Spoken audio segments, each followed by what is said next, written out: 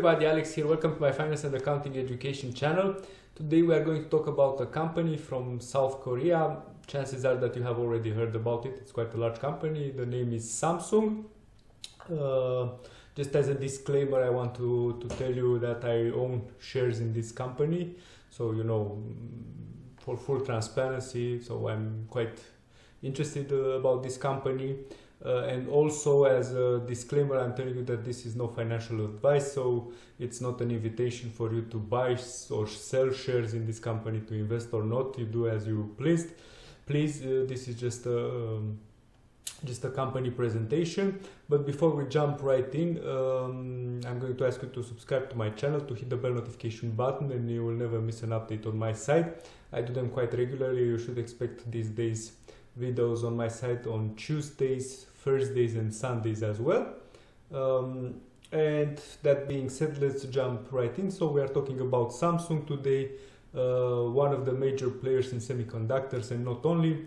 The reason why I'm actually invested in the company is the fact that it's one of the major players in semiconductors uh, and I have made several let's say presentation company presentations uh, already so I have presented to you ASML uh, from Holland, uh, which is the supplier of uh, these lithography machines that all the top um, semiconductors manufacturers these days are using.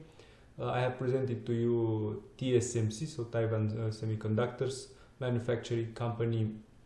I have started with uh, presenting to you the entire semiconductors market as an opportunity uh, given the the recent semiconductors crisis and the I think from my point of view the increase in, in demand uh, that we have seen lately and will continue to, to the demand will continue to grow from my point of view because I cannot imagine the fourth industrial revolution. I cannot imagine internet of things and everything that's going on in the world right now without semiconductors. I mean uh, we will get more and more electronic devices more and more appliances and they will be used on a larger scale and I think this is a sweet spot to be right now as an investor but that's only for myself do as you please.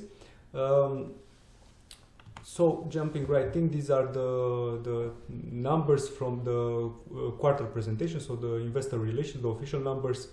Uh, so we are going to talk first about the financial performance namely about the income statement. The numbers are in Korean won uh, just in case you, you are wondering you would divide by 1300 approximately plus minus uh, given the exchange rate if you want to find the numbers in dollars. However luckily we have percentages and we also have KPIs and ratios and we don't really care that much about the absolute uh, amounts. Um, you can see that uh, the sales in general are growing from last quarter uh, in 2021 so from quarter two and also uh, from quarter three in 2020 the gross profit is also on a positive trend. Uh, the operating profit is growing. The profit before income uh, tax uh, also had a very good performance. The net profit and the basic earnings per share as well so growing from 1.364 1364 uh, in for example in quarter 3 2020 to 1776 in quarter 3 2021 so you can see that the, the PNL is improving in the in the latest quarter when we when we got the so the latest financial results. Also, this uh, key uh, profitability indicators, so the return on equity going growing to 17% for from 14%, 14% um, in both uh, Q2 2001 and Q3 2020. Uh, net profits uh, per sales also growing from 0.4 14 0.15 to 0.17 asset turnover. So basically the this shows uh, how well are the assets uh, used in order to generate sales uh, growing from 0.74 okay it actually was a setback in q2 2021 to only 0.67 but it's back on to 0.75 and the leverage is also quite good meaning that the company doesn't have that much debt. Uh, you might ask yourself why uh, we are talking about debt. Since we have the um, asset to equity well the more debt you have the less equity you have. So they are uh, related. Um, I also have, just as a reminder, a reminder, I also have a course about the key performance indicators in which we are, uh, I'm touching mm, more or less all the possible financial performance indicators, uh, including investors ratios and so on and so forth. Uh, the teaser I'm posting right now, you can find the courses on LearnFly, Udemy and Patreon, more details below this video. Um, and also the EBITDA margin is improving from 29 to 31% to 32%. So you see from, from financial performance only positive news. Then if we are talking about the segments, uh, I told you that I'm interested about this company mainly because of the semiconductors. Um, from sales point of view, the semiconductors are around 35% plus minus. Uh, you also see, of course, the, the same uh, improvement in performance in most of the segments. Um, but the semiconductors represent 35% of the sales and what is more important they bring also 65% of the profit uh, so the operating profit uh, if you check this out so from 15.82 uh, trillions uh, 10.06 are coming from the semiconductors. The company is quite diversified from my point of view so they have this con consumer electronics uh, video displays. I also have a computer screen from from samsung. I'm quite happy about it. Also tv sets you will find here. Then you have um, IT and mobile communications or this IM. In here there are the, the mobiles of the, the mobile phones included, also quite a, an important segment of the of the company. Then you have the device solutions. Here you have the semiconductors and this sub uh, of memory. Um, and uh, DP, who's the, uh, the the display panels. So basically, because you might ask yourself what is this display panel, we already talked about the uh, VDs. Uh, yeah, display panels are, or the small panels that um, are getting as component in other appliances, so not uh, for the consumers, uh, so direct like TV sets and then computer, uh, computer screens. Um, and last but not least, we have this Harman. Harman, if you know, probably if you've heard about JBL, Harman is in the um, audio technology, so uh, quite a si significant manufacturer. Uh, Samsung acquired them because Harman has a very good uh, relation with many car manufacturers, so for, for the sound systems in the cars, and they wanted to have to have a foothold in this industry as well. Um, so that would be about the let's say the segments and the, the diversification of this company uh, just as I have said, I'm invested because mainly because I see a lot of potential in the semiconductors, but we will also talk a little bit about the the mobile phones. Um, but before we do that, let's take a look, a short look also at the balance sheet and the cash flow and the KPIs of the company. So the balance sheet, what stands out in the balance sheet is that okay, um, they have very little uh, debt and uh, in general the liabilities are very low so debt to equity ratio 6%, liability equity 38%. The current ratio is quite large, 260% current ratio. Um, just as a short reminder, I told you I have a course about the KPIs. Current ratio is the ratio between the current assets and the current liability. So the idea would be if you are covered uh, on a short term, so you can pay your debt on a short term, and you see that the such a ratio of 260 shows that they have enough resources to pay their short-term debt.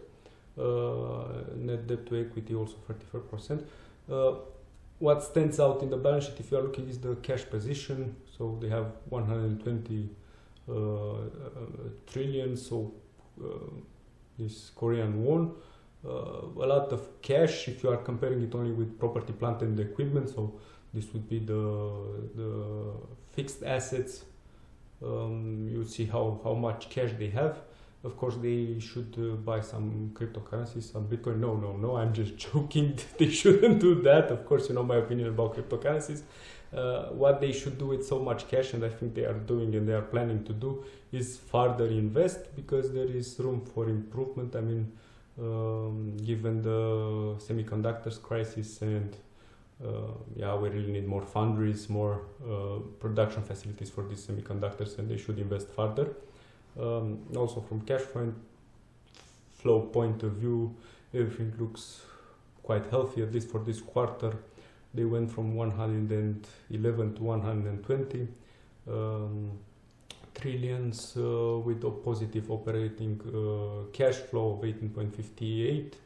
Um, of course, a negative from investment, so they are, you see, 11.22. They are investing uh, quite a lot in property, plant, and equipment. Um, and also from financing activities, we have a minor negative cash flow, um, meaning that they have paid the dividends. I didn't get any dividends because I apparently I bought the shares too late to catch this dividend, uh, and they also took uh, some more credit, so some some more uh, debt, but it's okay as we have seen in the in the ratios before. Um, and in total, you have a 9.37 trillions increase in, in uh, so-called annual trillions in, in cash flow for this quarter. So everything looks very good. Um, the segment, this, besides semiconductors, the, uh, the other segment that I wanted to talk about was the mobile phones. So if you see Samsung, it's with the blue, it would be here at the bottom. Uh, it's just the order of, uh, let's say, of the how they are presented doesn't mean that they have a low market share because they are at the bottom. Actually they are the market leader. Um, this market share is uh, based on number of units uh, delivered so it's not taking it would be probably too difficult to take the, the values into consideration. But from number of uh, phones delivered they are sitting on around 20% market share. The second um, competitor is uh, Xiaomi from China. Oppo and Vivo are also from China uh, and you have also Apple with around so quite dropping from let's say from last quarter of 2020 from 21% to 15% only in uh, second quarter of 2021 uh, probably this depends on releasing of new terminals and so on and so forth. However they are a significant samsung is a significant player in the mobile phones. Um, what actually happened in 2007 when um, Apple uh, decided to change the game rules through iPhone when they came with the new iPhone in 2007 and they said uh, uh, the mobile phone so far had way too many buttons. Let's remove all the buttons. Okay you still have some buttons on the side of the phones. Uh, they don't have enough screen. Let's give them some more screen. Now they are basically one large screen. All the mobile phones and so when, when they, they changed the paradigm, from the mobile phones before 2007 the mobile phones were quite were looking quite different than they are looking uh, these days. And let's say that from okay the largest competitor in the market uh, back then was Nokia. Let's say that Samsung was actually the only one uh, from the old competitors that said okay we can do it like this as well and they kept the, the competitive position in the market. Uh, their phones have mostly Android uh, uh, operating system from Google, and you see they are a significant competitor also in, in this segment. However, do remember that the profit doesn't come from here, comes from the semiconductors. Um, and if we are talking about semiconductors, we have the foundry. So from Nikkei uh, Asia, so Nikkei is the actually it's the um, index from from Japan Stock Exchange. Uh, but on this publication, we have some news. Uh, Samsung plans to triple foundry chip production capacity by 2026. So, uh, yeah, investing in the most profitable product that you have in a market that is increasing like hell, it's probably one of the best ideas. Uh, tech giants Q3 net profit surges 31% amid strong semiconductor demand nothing new here. Seoul, Samsung Electronics said Thursday that it plans to triple its foundry production capacity by 2026 amid the global chip shortage disruption, disrupting production in key industries from autos to smartphones as it uh, reported strong third quarter earnings. Uh, Han, Han is a um, senior executive uh, at Samsung, Han's comments uh, come as global chip uh, makers are keen to make uh, inroads in the foundry sector led by Taiwan Semiconductor Manufacturing Co. Uh, you can see here the you have uh, the video in which I'm presenting TSMC as well. which boasts a global market share uh, of 53%. Samsung is, is far back in the number two position at 17%, while Global Foundries of the US follows at 6% according to market uh, researchers uh, Statista. Leading US chipmaker Intel meanwhile announced in March that it plans to become a major provider of the US and Europe-based foundry capacity to meet surging global demand for semiconductors. So you see everybody is planning on, on capacity um, increases. Uh, the TSMC and I also talked in the video is planning to uh, build a um, foundry in Japan with, with uh, support from the Japanese government and so on and so forth. So Samsung and what is important for, for Samsung also reaffirmed that it's scheduled to produce its first 3 nanometer chip based chip designs for customers in the first half of 2022 while its second generation of 3 nanometers is expected in 2023 so we also have innovation um, so how do you want these little guys these electronical components you want them as smaller as possible uh, with uh, capable of doing as many operations as possible, consuming as least electricity as possible, and so on and so forth. And this is the direction in which we are going with this uh, miniaturization, so this reduction in the uh, in the, dimensions.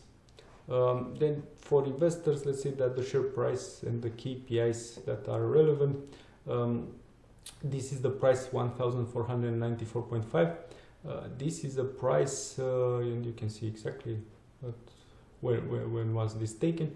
Uh, it's a price in US dollars. Um, however, for the European and also for the American investors, this is available only in packages of 25 shares.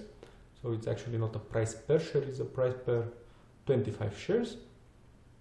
And if you are looking at the price evolution, uh, you will see that actually the prices are going down, uh, which it's an opportunity for any investor uh, meaning that if you are looking at 52 week range it was between so it's between 1372 and 2068 1494 it's quite a low value so it's a good investment. The price to earning ratio is 18.36 uh, this earning per share of 81 uh, let's say it's uh, consistent with the 3800 um, Korean won that the company uh, delivered as earnings per share in 2020.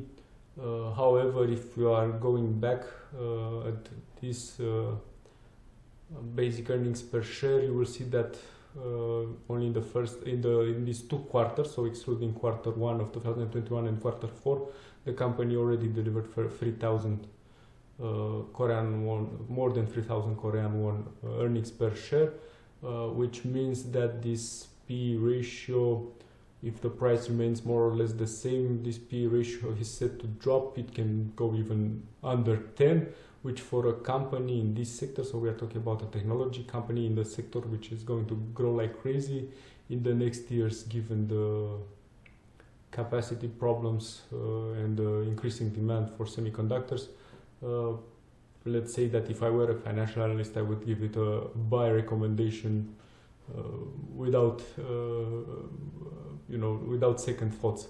however, I'm not, and I'm not giving any recommendations in this direction.